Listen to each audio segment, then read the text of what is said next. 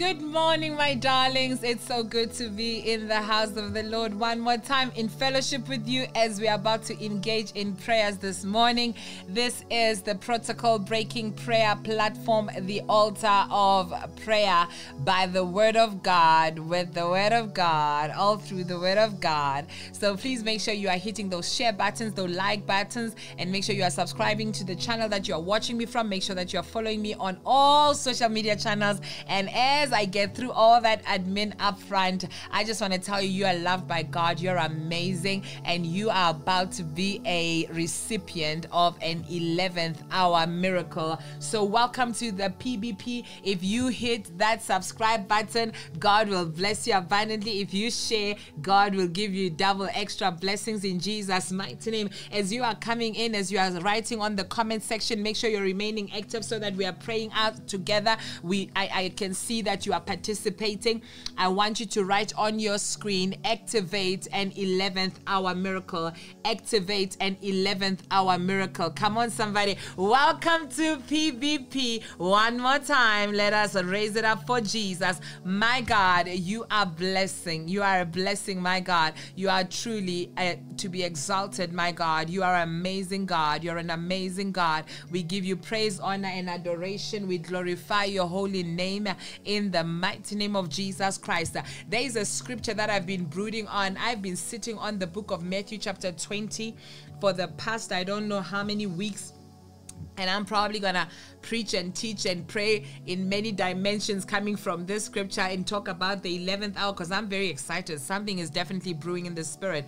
The Bible says that about the 11th hour, he went out and found still others standing idly around. And he asked them, Why have you been standing here all day and doing nothing? Hallelujah. Why are you standing around and doing nothing as if you've got no purpose, as if you've got no direction? Because, and they, they answered, they said, Because no one has hired us. We don't have because no one has hired us, you know, um, and, and, and they're waiting on, on something. They're waiting on something.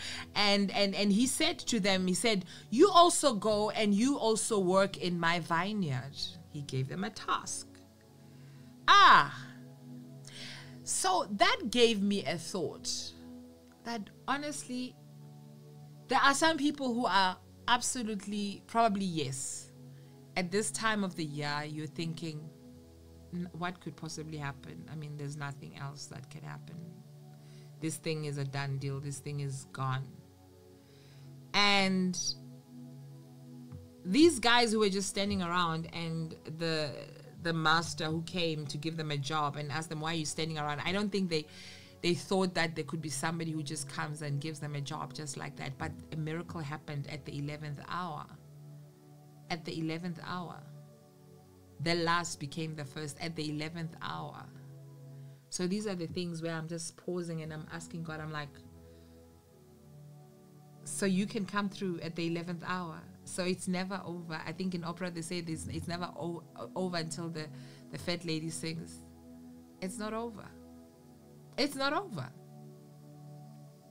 There is a place for 11th hour Christians but the 11th hour Christians also need to get to the, with the program. They need to get ready. When opportunity knocks, they need to get ready. So, my question this morning are you an 11th hour Christian? So, in this parable that we see in the book of Matthew, chapter 20, the parable about the kingdom of God, Jesus, in that parable that speaks about the kingdom of God, described the last generation before his return he described a group of people who were standing around doing nothing, people who were idle and non productive. Jesus revealed God's plan for these people. Get to work in the vineyard. That's the instruction. What are you standing around for? Don't say there's no work, create work. Don't stand around. God says, Come to the vineyard, let's work. It's still the 11th hour. And God continues to look to the laborers who will go after his harvest. The harvest is plenty, but the laborers are few. So God is expecting me and you to rise. God is expecting me and you to rise and fight. And God is expecting me and you to rise and expand his kingdom. In our prosperity, in our expansion, we are expanding his kingdom. Jesus is still seeking workers, child of God, who will work in the vineyard. Jesus is still wor- wor- working and looking for fishers of men in Jesus' mighty name. In these last days, He's looking for idle people who are willing to start, who are willing to start using who using what they have, the capacity they have, who are willing to start to, to, to put their hands to dirt and get their hands greasy, to break a sweat. So what am I saying? I'm saying God is looking for your, your yes. It is looking for your yes. If you're willing to work, we will not be idle anymore. We will not be just standing around anymore. We will not be wasting time. God is looking for those who have been waste, wasting time. God is, is saying, I'm looking for those who are producing little or those who are producing no fruit. God is looking for those who are doing nothing. Why not throw caution to the wind and get busy serving God? Why not work in the vineyard of God and see what He will do? Sometimes, truly, to unlock certain blessings, you will want what you want and you want to pause God's agenda, but God says, You will push my agenda first. Why not be bold and share the love of God and the good news of Jesus? There are those who are lost, who are weary out there in the world. They are waiting. They are scattered sheep that are waiting to be brought back to the flock. You have people in your sphere of influence you have not reached out to an potentially 11th hour Christian that still needs to enter the kingdom of God. Listen to what Jesus says, but when he saw the multitudes, he was moved with compassion for them. Does anything move you that moves God? Because they were weary and they were scattered. He was moved by compassion. When you see broken people, does it move you? He said to his disciples, The harvest is truly plentiful, but the laborers are few. Therefore, pray ye the Lord of the harvest to send out laborers into his harvest. That broken child, that child under addiction, is waiting for a laborer in the harvest. He's, a, he's waiting in the harvest. He's waiting for a laborer to come through and get him. I don't know about you, child of God, but I'm stirred up. I'm fired up and I'm more passionate about searching and reaching out to the lost doing my part in the kingdom of God, in the building of the Lord's church, preparing for his return. And I want to urge you this morning, amongst all the things we are yet to still pray for, that God will make you a faithful laborer. That you will give the Lord your 100% and 110 and 150, and that you will do everything you can do to reap his harvest.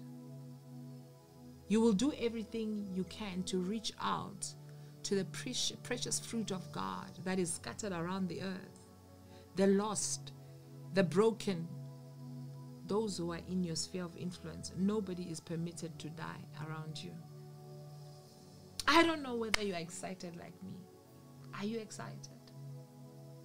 If you are excited, be advised. Yes, it might not be easy. Yes, it might take a lot of effort. It might be some flack. You may be labeled, you may be misunderstood, you may be criticized, you may be saying it is hard, but you have to pull. It may be inconvenient, but you still have to pull. People will say mean things, you still have to move. That comes with the territory. So, it will not be easy, but it will be worth it. When we walk in the vineyard of God, it's not always fun, it's not always pretty, but the rewards are plenty. In the mighty name of Jesus. Remember, we serve a loving and a generous God. For the kingdom of heaven is like a landowner who went out early morning hired men to work agreed to pay them a certain fee. And he did so. The others came late. They came at the 11th hour. They thought they were forgotten. They thought that it was time out. But God remembered them. Father, remember me today. I'm done with being idle. I'm done with doing nothing. I'm done being non productive. I commit to being an 11th hour Christian who's ready to serve you and open up your mouth, child of God. Commit yourself to God and tell Him, I'm ready to serve you with my whole heart. I'm ready to work in your vineyard. I'm ready to reap the rewards and reap the harvest. I, am going after the precious fruit of the earth. Hallelujah. I'm going to become a fisher of men in Jesus' mighty name. I'm going to reach out to the lost in Jesus' mighty name. Father, I thank you for the energy, the grace, the wisdom. I thank you for the help that I need to serve you, my God, in Jesus' mighty name. Thank you for being so generous, my God, in Jesus' mighty name. Thank you, Holy Spirit. I praise you. I give you glory.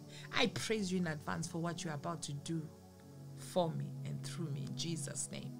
When God remembers you, child of God, your situation changes, your circumstances change. They were standing around there. They said, No man hath hired us. We don't even know whether we are coming or going, but God but God remembered them. Somebody shout in the comment section, but God remembered. God remembered. God remembered. Everyone that God remembers, He always make sure that they have a testimony you shall have a testimony if you tag on your on your neighbor and say i will testify in jesus name the Bible says in the book of Genesis 8 1, and God remembered Noah. When you track again to the book of Genesis chapter 19, the Bible says that God remembered Abraham and sent Lot out of the midst of the overthrow. So that means there was a package deal. Your family gets remembered, your family gets saved all along. Exodus chapter 2, verse 24, the God that, that heard the groanings of the children of Israel, he remembered the covenant that he had with Abraham, Isaac, and Jacob.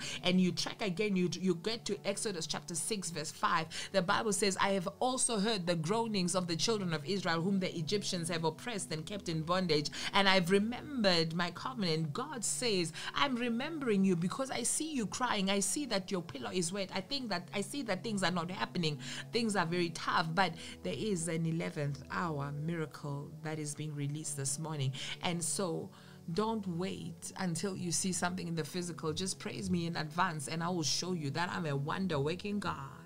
When you praise God in advance, it's an invitation for Him that He cannot resist, He cannot turn it down. He has to visit you. Hallelujah. The Bible says that God visited Sarah in the book of Genesis 21, and He did unto Sarah as He had said He was going to do. My Father, as we are praying this morning, we are asking, oh God, that we are also going to get this visitation, my God.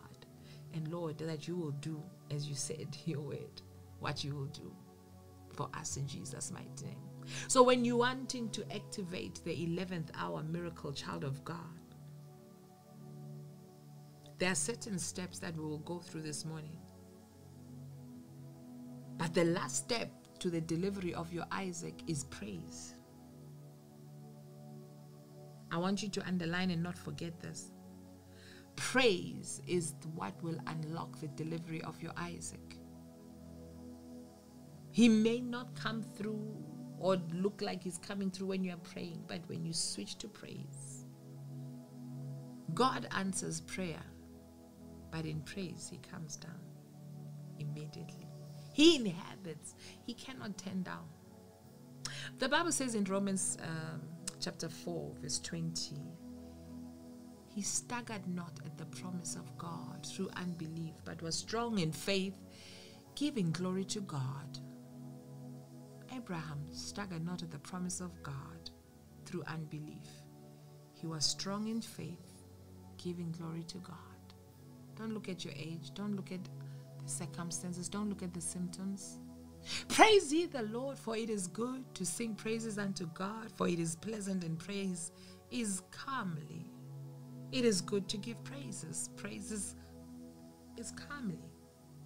Praise is not just dancing, child of God, but you should praise God with an understanding because He envelopes you when you praise Him. He envelopes you when you praise Him. For God is the King of all the earth. Sing ye praises and understanding, says the psalmist in 47. And the psalmist in 22 says, But thou art holy. Thou art holy. You are holy. Oh, you who inhabits the praises of your people, Israel.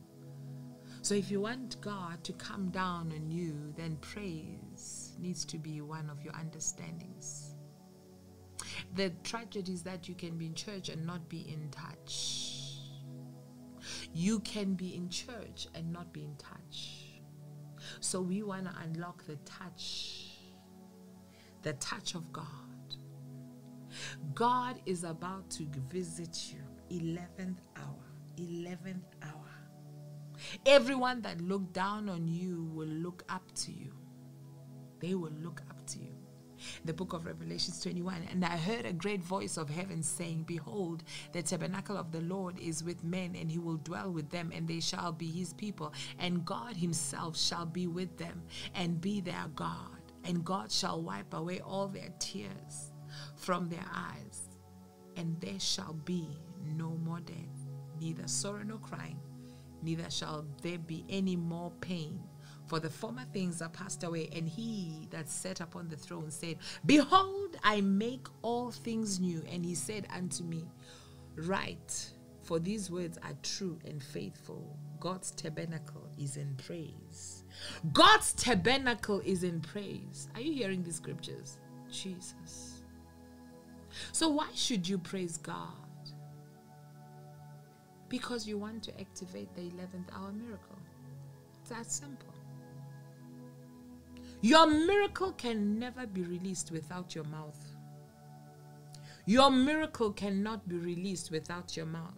Proverbs 12 15 says, A man will be satisfied with good from the fruit of his words, and the deeds of a man's hands will return to him as a harvest.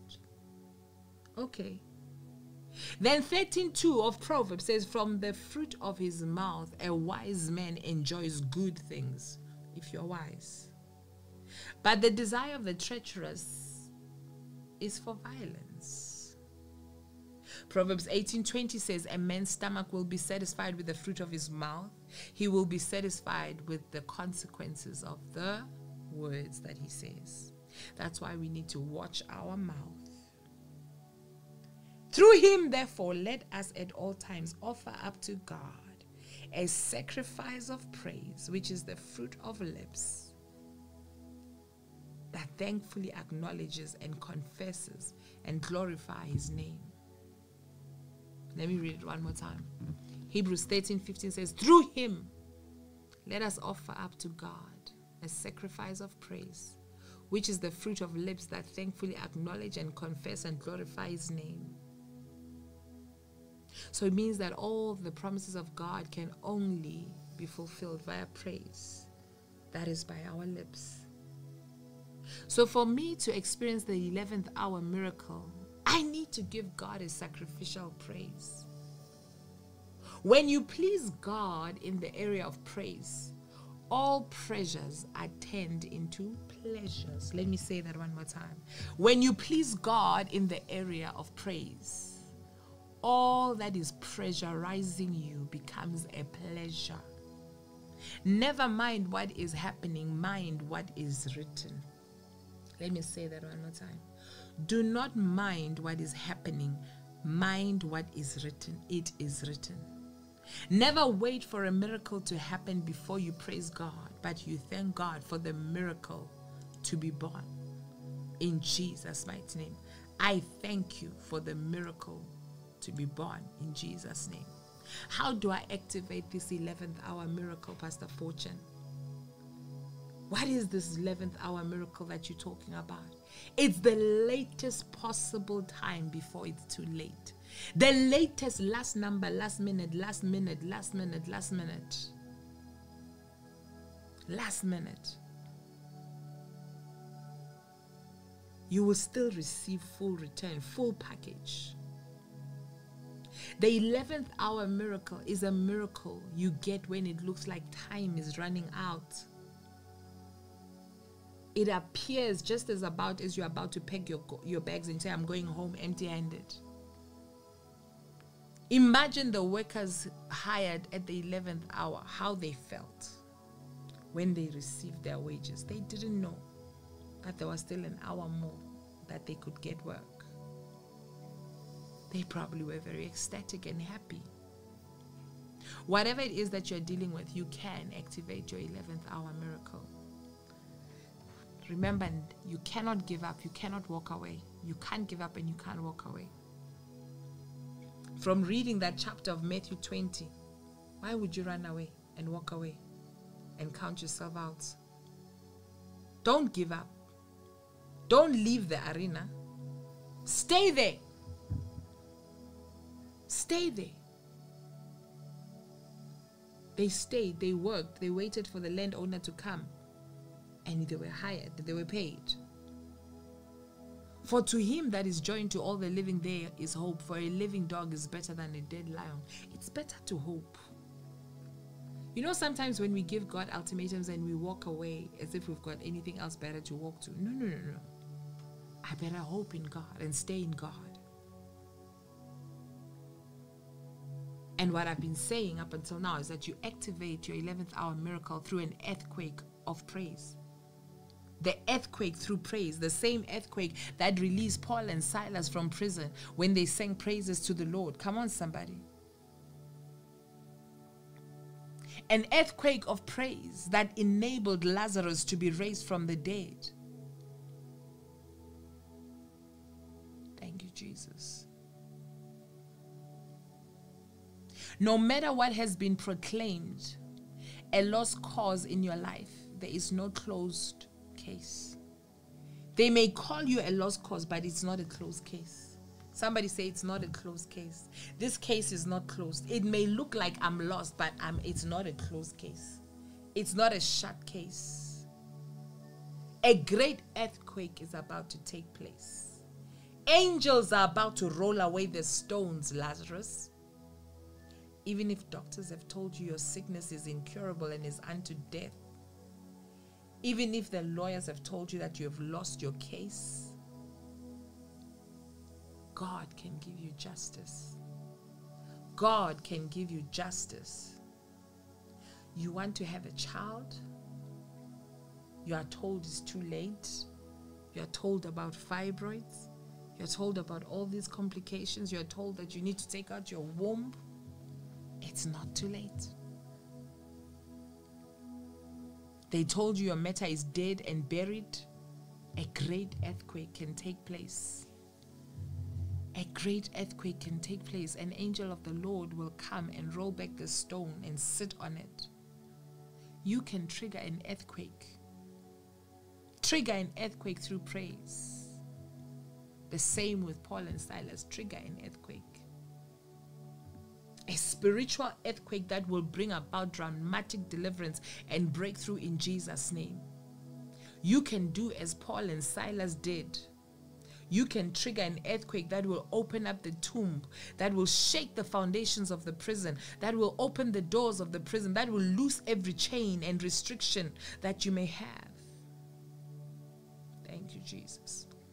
When you don't know what to do, praise God. When you don't know what to do, praise God in the book of Second Chronicles, chapter 20, Jehoshaphat and God's people had a serious challenge. Different armies were attacking them and taking them to battle. In verse 12, let me read the scripture for you. It says, O our God, will you not judge them? For we have no power against this great multitude that is coming against us, nor do we know what to do, but our eyes are upon you.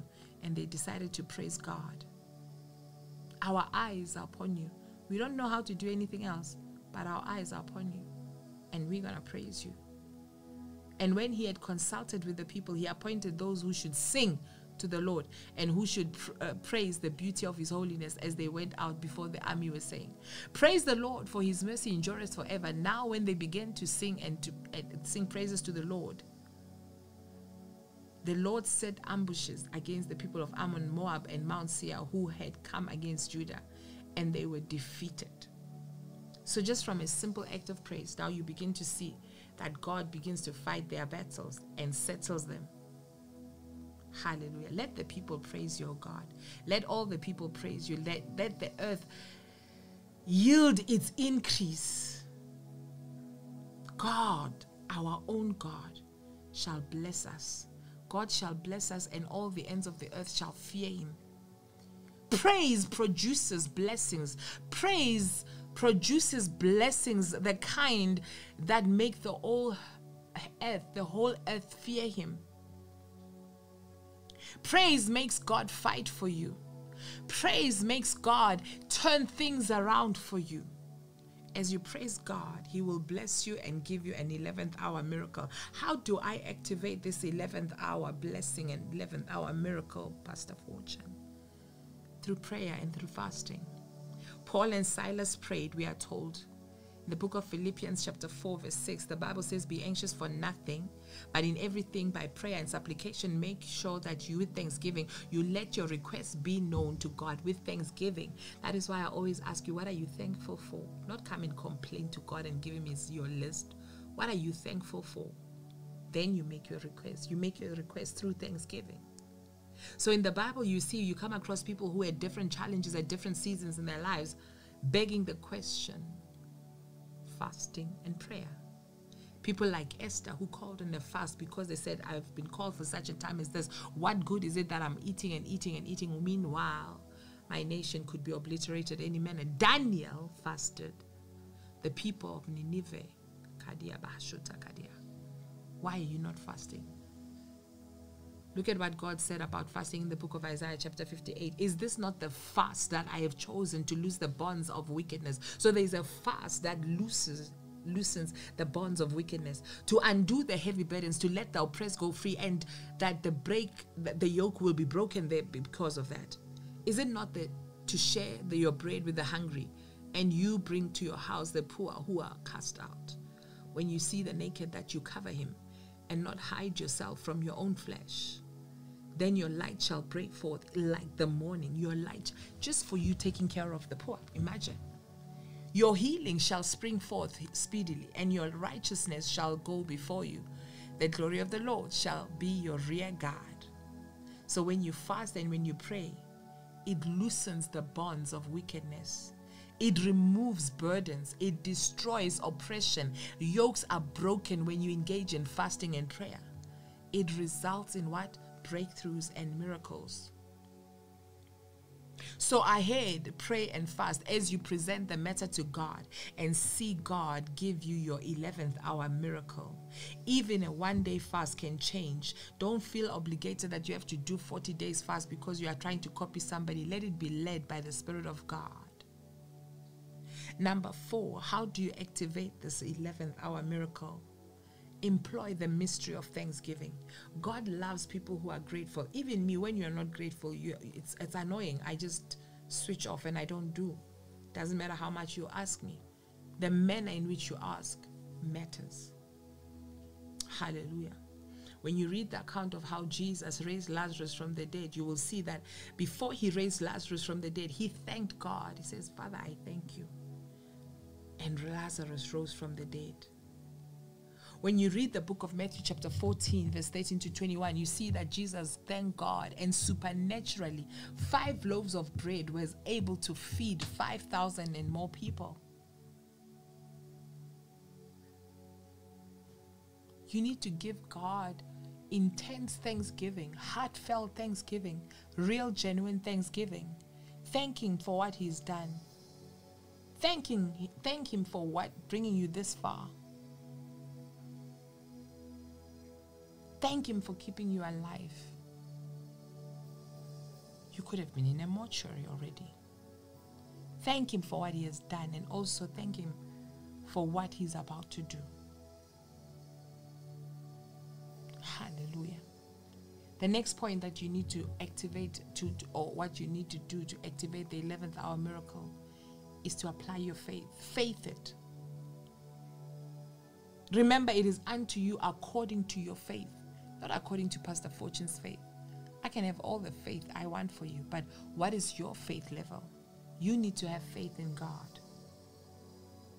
Now, faith is the substance of things hoped for, the evidence of things not seen. For by it the elders obtained a good report. Without faith, it is impossible to please God, for he who comes to God must believe that he is, and that he is a rewarder of those that diligently seek him.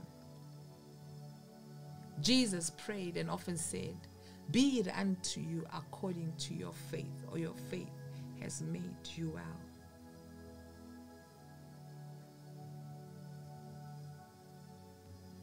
Hallelujah. In Matthew 9 29 to 30, sorry, I'm giving you too many scriptures today, but I believe that it's good that we soak in the word. He touched their eyes, saying, According to your faith, let it be to you. And their eyes were open. Nothing is impossible. According to your faith, nothing is impossible. Nothing is impossible to a person who believes. A person who believes can obtain that 11th hour miracle. See, I see miracles coming through. In the book of Mark, chapter 9, he says unto them, If you can believe, all things are possible to him who believes. All things are possible to him who believes. How do I activate this 11th hour miracle? I'm rushing for time, but let me see how much I can squeeze in. Find the relevant scriptures and declare them. The whole world was created by the word of God. So when you declare the word of God in any particular situation, you command the word of God in Jesus' mighty name. You command everything to align to the word of God. It will obey you. Never mind how the situation looks right now. By faith, we understand that the worlds were formed by the word of God, so that the things which are seen and those which are not, or, or, or the things which are not are, are seen, are made from the things which are unseen. So they come into visibility from invisibility. I bring what I'm doing in the spirit into the physical in Jesus' mighty name. So I begin to search the scriptures, I begin to search the word of God that applies to the situation that I'm dealing with at that point. And I begin to proclaim it and I begin to command it. I begin to see the situation change to align with the word of God.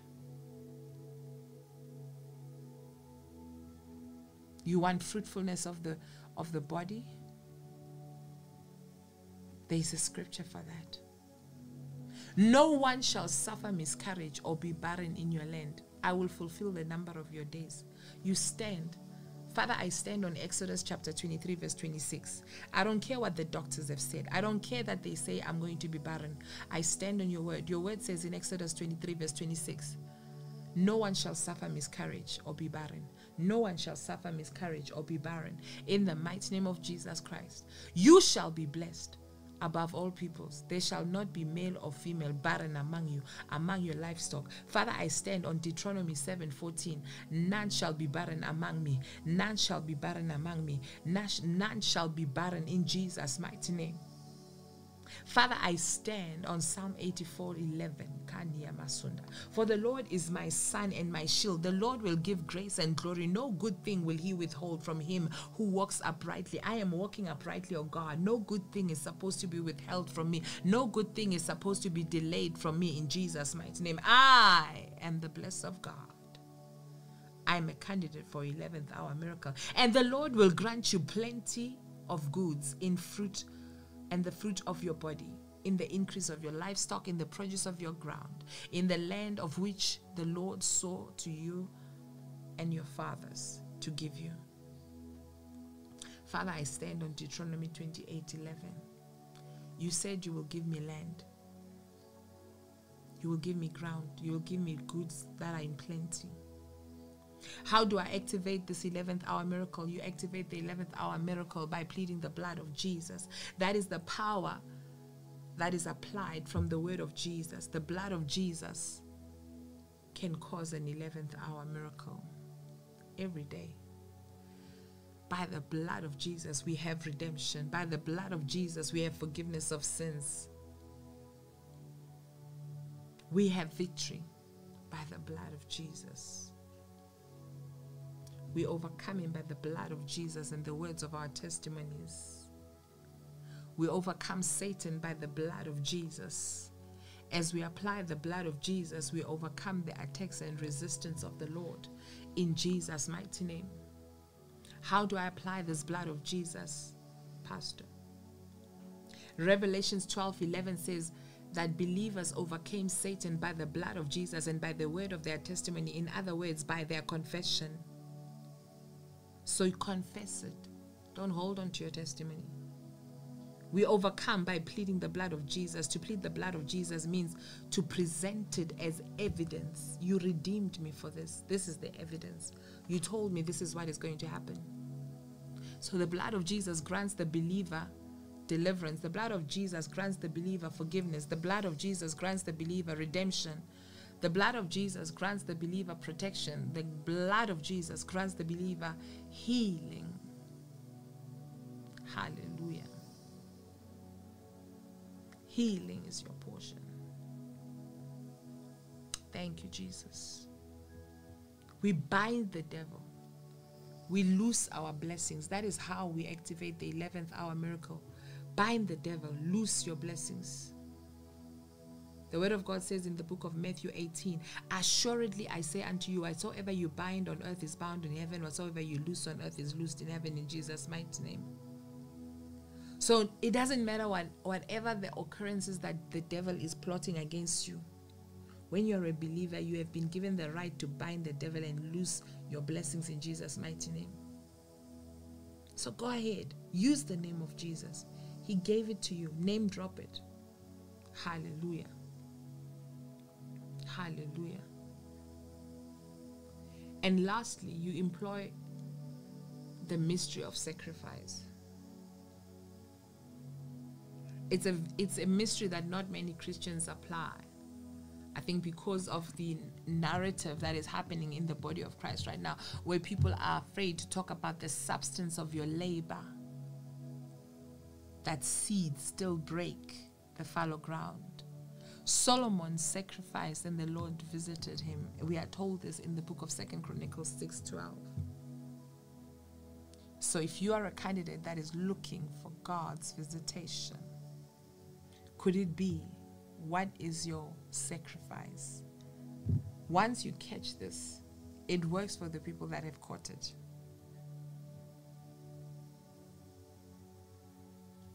David made a sacrifice and God decided to end the plague that was released on Israel. So a sacrifice can turn things around. How do you raise an altar of sacrifice today? Through the fruit of your labor, what you have earned. How do you do this? You can give to your local church, you can give to a ministry that preaches a word of God, and you know that this is another. Do something for God in essence. Let me just summarize it like that. Give to God through evangel. Identify where God is at work and you sow in there. Amen, somebody. You don't need to announce to the whole world what you have done. Do it in secret. What you do in secret, your Father will reward openly.